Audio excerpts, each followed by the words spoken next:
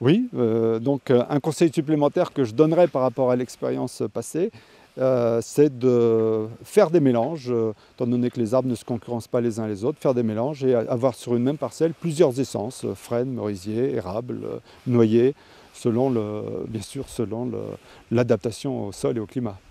À quelle densité? Pour moi, la densité de 110 hectares est une densité intéressante.